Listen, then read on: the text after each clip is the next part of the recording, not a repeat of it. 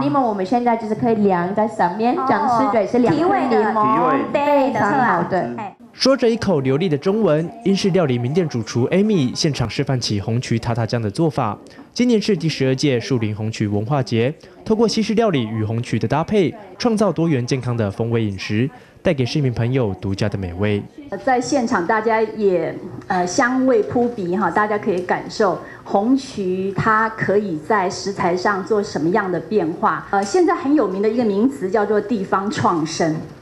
呃，地方创生，我想最重要的当然是在地的产业特产，那它可以结合观光，那最重要的其实就是它在地的一个品牌的故事。为了庆祝树林红曲文化节迈向第十二个年头，当天特别邀请世界金属冠军制作巨大的创意红彤彤包，同时现场还有许多活动摊位，只要民众参与红曲知识闯关，就可以兑换三家火车文创笔筒，让每位参与的民众物价够量。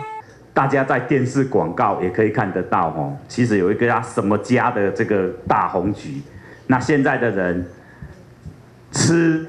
没有问题，但是怎么样吃的健康哦，吃的健康是最重要的哦。那其实红曲就是有预防三高的作用哦，所以它真的是一个非常好的食品。今年的树林红曲文化节九月十五号将在树林高中举行，现场将有许多红曲美食摊位、丰富的摸彩活动，以及小朋友最爱的红曲宝宝。欢迎所有民众一起参与红曲文化的新体验。